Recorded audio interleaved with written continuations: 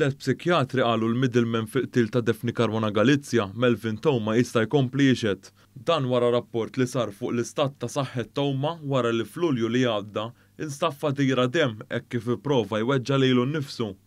Intant, fil-Qorti nqalgħet kommossjoni sħiħa hekk kif l-aħwa De Giorgio, akkużati bi qtil ta' Daphne Caruana Galizia, semmu leħinhom u qalu li d-drittijiet tagħhom qed jiġu miksurin. Alfred u George De Giorgio għajtu mal-Maġistrat Claire Stafratt Zammit u qalu li huma qed jiġu trattati differenti minn akkużati oħrajn fejn huma semmew lil Jurgen Fenech, is-suspettat mandant fil-qtil ta' Caruana Galizia.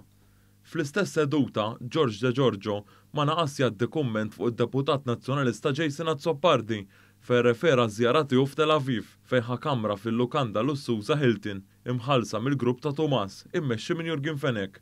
Ksirtu d-drittijiet fundamentali tagħna, basta tmur fuq il-qabar ta' Kristu int, kien kliem iċ-Ċiniż, dan b'referenza għal dak li qalet l-eks mara ta' Jason Azzopardi li sostniet li meta mar l-Iżrael, Azzopardi, lilha qalilha li jrid imur tieġ waħdu. Għaliex wara x'ta jqatta' lejl fuq il-qabar ta' Kristu?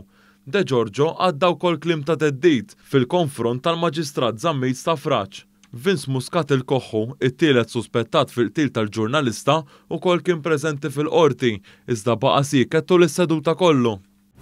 Charles Polidano ċ-Ċaqnu, weħel l-multa ta' 22 elf ewro wara nstab ħati li kien qed iżomm annimali slavaġ illegalment fiż-Żoo Tiegħu f'Monte Cristo.